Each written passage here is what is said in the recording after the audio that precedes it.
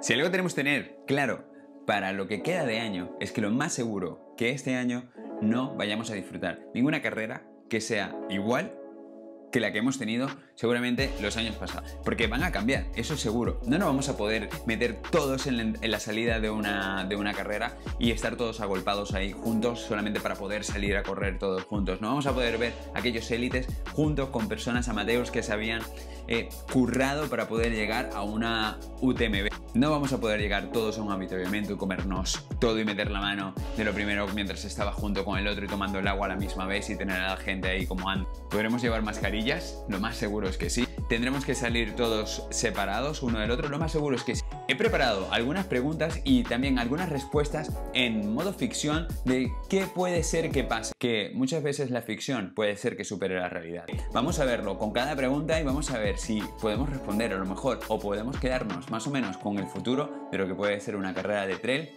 en el 2021. Bien, pongámonos en la situación que seguramente ya vamos a empezar a buscar una carrera. ¿Cuál sería una de las cosas que seguramente te pedirían antes de poder ingresar en esta carrera? Lo primero que te pedirían seguramente sería un certificado COVID que dijera que tú no eres portador de este virus. La mayoría de la gente está enfocada en que en un futuro tú te puedas mover de un lugar a otro y que puedas cerciorarse de que tú no tienes ninguna enfermedad o no tengas este virus, que puedas trasladárselo a esa nación y pegárselo a los demás que están ahí adentro. Eso será seguramente una de las cosas que seguramente nos pedirán cuando estemos buscando una carrera. Que tengamos un certificado que nos diga que no tenemos este bichito corriendo por nuestras venas. ¿Qué otra cosa te pueden pedir? Lo más seguro es que te digan que dentro de la carrera tengas que pasar un periodo de cuarentena. Esto puede pasar 5 días, 19 días o al igual puede ser que a lo mejor hasta te pidan em, que le des una donación de sangre para poder además hacerte un examen para así estar totalmente 100% seguro de que cuando te vayas a reunir con los demás deportistas no seas portador de este virus para cuando vayas a correr. Ya sé que has pasado una cuarentena y seguramente también has pasado el certificado y a lo mejor te han sacado hasta sangre. Recordad, todo esto es ficción y todo esto puede pasar como que no. O sea, yo aquí me estoy inventando las cosas porque no tengo ningún grado de nada. Pero esto es una cosa que podría pasar. Puede ser que a lo mejor dentro de lo que es el box de salida no sea como los boxes de la UTMB donde están todos juntos, sino que sean por boxes separados de 2 metros y a lo largo solamente puede haber 5 corredores, luego otra línea detrás, 5 más corredores y así seguidamente y que vayan saliendo temporalmente por tiempos, pero que tengan por lo menos como unos 10 minutos o unos 5 minutos entre ellos, para que así no estén tan pegados cada vez que salgan a correr. Ya en la UTMB se utiliza esto sobre todo para separar lo que son la gente que es élite a la gente que es amateur y que no tiene unos tiempos tan brutales o que no tiene unos puntos tan brutales como la gente élite. Esto se podría aplicar directamente a toda la gente cuando empecemos a hacer carreras post-COVID. Otra cosa que podría pasar también es que cuando llegues a los habituallamientos, esto yo creo que es la cosa que más me preocupa cada vez que empiezo a pensar en ello porque digo, ¿qué podría ser en los habituallamientos? Pero la mayoría de las cosas es líquido, la comida, todo está al aire libre, eh, lo puedes agarrar, la gente lo agarra, mete la mano en el plato y agarra las nueces también cuando hay, cuando hay frutos secos. Eh, es un poco raro porque además lo manipulan ellos mismos, lo cortan, lo tienen ahí, o sea, todo esto va a tener que cambiar. Los avituallamientos lo más seguro es que no pueda ser que llegues a meter la mano y puedas agarrar como anteriormente. Lo más seguro es que no. ¿Qué podría ser la solución para ello? Lo más seguro es que a lo mejor cuando lleguemos a un avituallamiento eh, tengas que llevar guantes y mascarilla.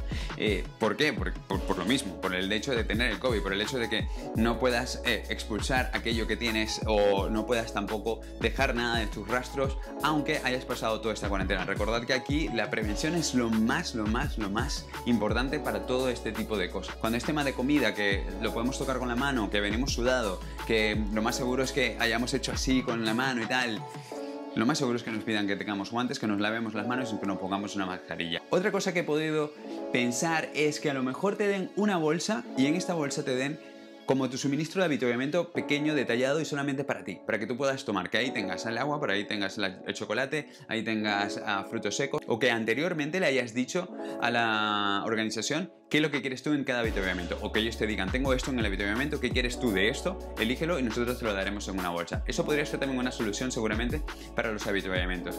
Pero lo que sí es seguro es que no tocaremos ya la comida como anteriormente la tocábamos y no estaremos todos juntos como anteriormente estábamos. Lo más seguro es que a lo mejor los avituallamiento sean separados por boxes o nos separen cuando lleguemos a ellos y no estemos todos juntos como antes. También al correr, en el trayecto que estás corriendo, como estamos en montañas, es verdad que no nos cruzaremos con mucha gente, sobre todo en aquellas carreras que no son tan multitudinarias como, bueno, el UTMB, como, yo qué sé, la Ultra Pirineo o alguna más, la de Humilac o la de Segam. Eso de todo el mundo dándote palmadas, tocándote en un gorillo y tal, todos ahí juntos, no creo que vuelva a pasar.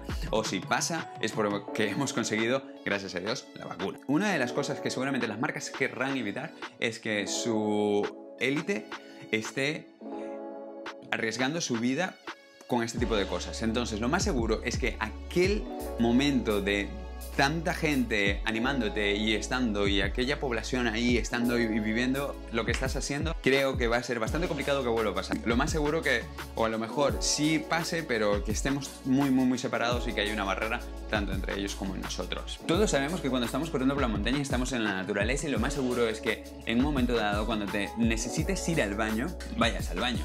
Para eso está la naturaleza prácticamente. Si vas a ser el número 2, seguramente tendrás que abrir un hueco y hacerlo y luego taparlo. Y vas a ser el, el número 1, te metes detrás de un palo y, o de un árbol y haces lo que tienes que hacer cuando haces el número 1. Esto lo más seguro es que puede ser que te lo prohíban, puede ser que porque bien se ha conseguido trazas del el COVID-19 en las heces humanas. O sea que dejar esto por el medio del camino no creo que sea lo mejor. Aunque hayas hecho todos los exámenes y todo el tema de la cuarentena, lo más seguro es que esto sea una regla que nos prohíba hacer esto. Otra cosa que solemos hacer muchos los corredores es sonarnos la nariz cuando estamos corriendo. Y el sonarte la nariz es uno de los principales focos donde está este virus y de la manera que se contagia Esto puede ser también otra de las cosas que seguramente nos prohíban. Porque muchas de las cosas que también hacemos es que cuando estamos corriendo eh, tomamos un poco de agua y lo primero que queremos es, es como enjuagarnos las bocas para sacar aquella saliva que tenemos ahí seca, pastosa ya,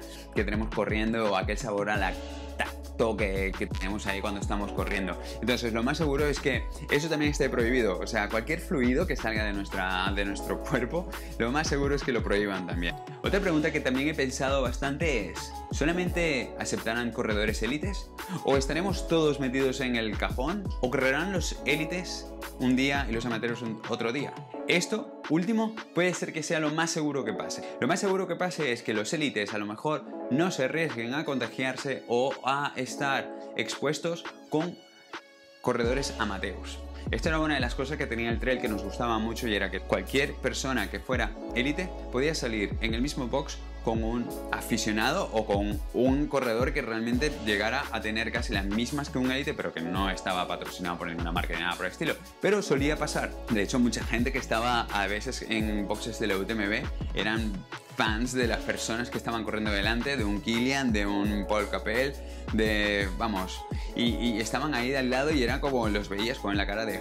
Estoy con este tío, es increíble, pana, tírame una foto, o sea, wow. Puede ser que suceda que ahora mismo nos separen y lo más seguro es que un día corran los corredores élites y otro día corramos nosotros y no podamos tener aquella sensación que teníamos anteriormente que nos gustaba cuando mira quién tengo al lado y estoy corriendo con el colega. Esto es increíble, o sea, es mi sueño. Esto puede ser que no pase. Por último, una de las cosas que creo que todo el mundo tiene claro es que las carreras que más destaquen ahora mismo son las carreras virtuales. Las carreras virtuales ya sabemos que durante el confinamiento estuvimos todos haciendo un montón de carreras virtuales. Yo que tengo una cinta para correr, pues me hice un maratón en una carrera virtual. Estuve también corriendo muchos días 10 kilómetros. La verdad es que terminas bastante saturado solamente de correr en cinta. O sea, ya quería salir al monte. Y una vez he salido al monte, la verdad es he vuelto a estar en la cinta, cosa que no entiendo. La cuestión es que lo más seguro es que las carreras virtuales tengan ahora una proliferación brutal. Aunque a mucha gente no le gusta, por supuesto, porque estás metido dentro y una vez te den la libertad, lo más seguro es que todos lo hagamos fuera. Pero está empezando a surgir un tipo de carrera que es virtual y no virtual.